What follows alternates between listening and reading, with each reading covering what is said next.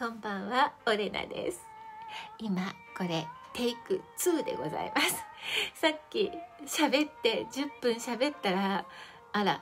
写真だったみたいな感じで 今喋り始めました。そして今日はアメリカ大使館の、えーと、面接がめでたく合格しました。なので3月の半ばにはハワイに帰れます。やっとです。とです本当にでも思ったよりも短かったです2年半か3年ぐらいかなと思ったけれども、えーと、私たちが選んだフィアンセビザっていうのだったらば割と早かったようですね。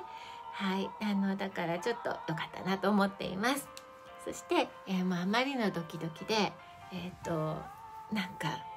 いろんなことを忘れちゃうぐらいドキドキでした。あの瞑想して今朝もね早くから瞑想をしていたりあとは私の産砂神社が目の前だったのでお参りしたりして心を鎮めてまああの面接の時はすごいいい状態で受けられました。でも昨日まではドキドキしちゃって本当に自分じゃないのが分かるぐらいドキドキしたんですよね。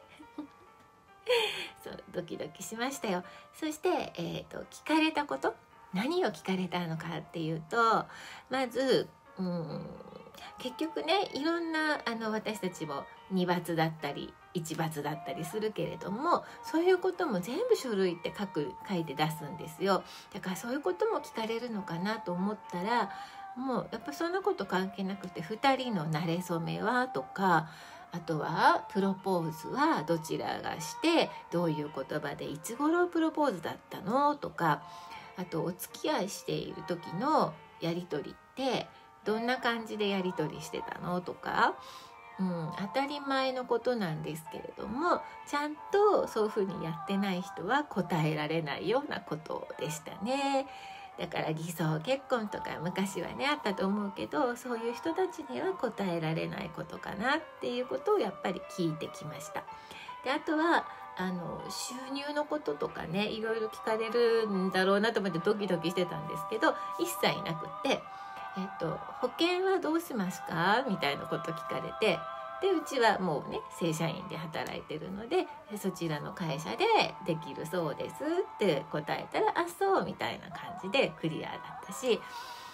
うん、なんかねあのすごくいい感じでした。そうそしてあの 英語がいきなりさ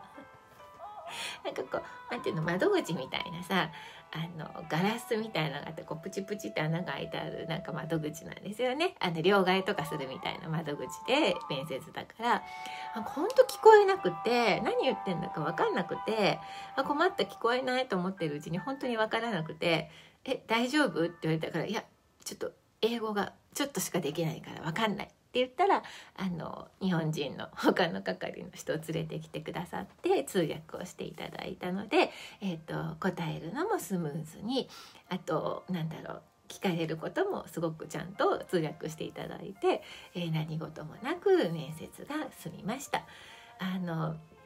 でも思ったよりも子供お互いの子供のこととか聞かれたし子供の年齢とかねそういうのも聞かれましたし結構あのあのいろいろブログとかねビデオとかが出てるんですけどあのあでも言われてることがやっぱり聞かれるんだなっていう感じでしたね。学生ビザとかとはちょっと違う感じでした。あと働くビザの人とかともまた違うしやっぱり2人のことをすごく聞かれたんですよね。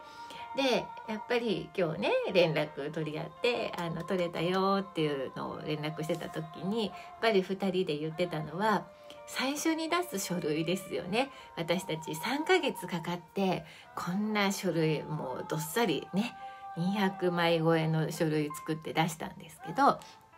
やっぱりそれを自分たちでやったことまあ彼がほとんどやってくれたんですけどそれをやっぱり2人でなんか積み上げて完成させたっていうところがすごく大きかったと思います。あのね人に頼んだらできることかもしれないんですけどやっぱりそれを用意するためには振り返っていかなきゃできなかったりでそれをしたことでそれが全部またコピーされてこっちの大使館に来てたりするからそれをねこう係の人が今日も見ながらさ質問するんですけどうちこんな分厚いじゃないですか。ね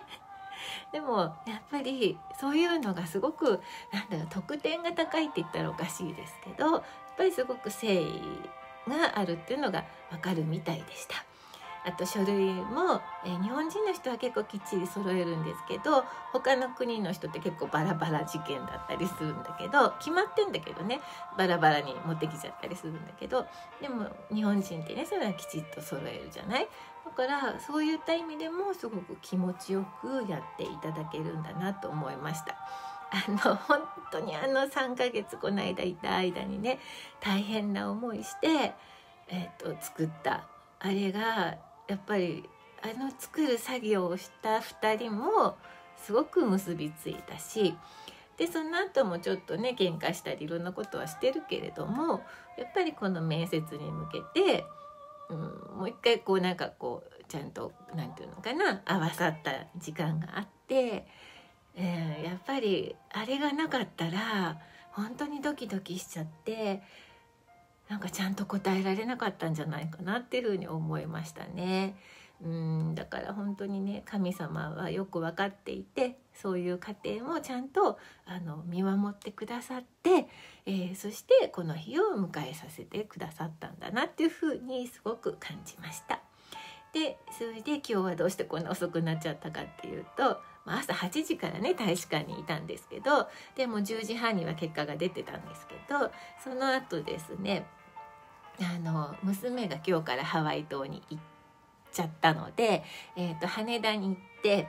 うんと一緒にね会って話したりとかしてました。であのやっぱり帰ってくるのと私が行くのとどう重なっちゃうかわからないのでもしかしたらすれ違っちゃうかもしれないしと思ってねちょっと時間を一緒に過ごしたんですけれども。なので羽田から八王子は まあえらい遠かったですね。またやっとさっき帰ってきました。結構ヘトヘトです。あでも本当にあのあれでしたね。えーと、アメリカ大使館っていうのが私にとってなんかすごい新しい場所じゃなかったってことですよね。うちのお墓が大使館の横のお墓お寺さんなのでそこでずっとねお墓参り行ってたりもう通い慣れた道だしあとは産砂神社さん比叡神社のところの向かい側のホテルを取って1泊したのでえーと、本当に守られているっていうか生まれたところから今日も行ってきますみたいな感じで、うん、出て行かれてで終わった後もねお墓参りしてきたんですけど、うん、なんかやっぱりそういうのが本当に支えてもらえたなっていうふうに思っています。やっぱりあのそれが違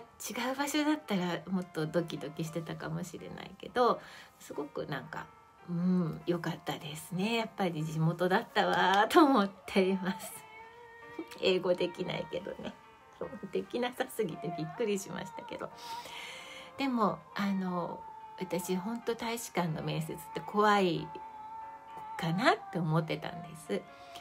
でもやっぱり自分の心次第自分がちゃんと中に、ね、内側を見つめてちゃんとグラウンディングしていけたらば、えーと、本当に最初から最初こう警護してる警官の方とかの対応とかからも違いますしやっぱ全てが違ったんですよね。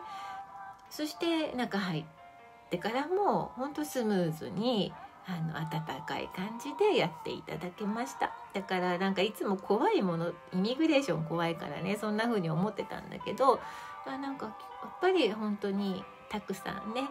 こうみんながこう助けて後ろにいたんだと思いますけどなんかそういう風になれたことをあとはうんとねやっぱり結婚してハワイに行くっていうことも私にとって彼にとっても大事なことなんだな宇宙的に。っていうことも分かった上で言っているので、うん、すごい良かったと思います。でこれからまた手続き忙しくなってまた動画撮れないかもしれませんがはいあのまたよろしくお願いします。ありがとう。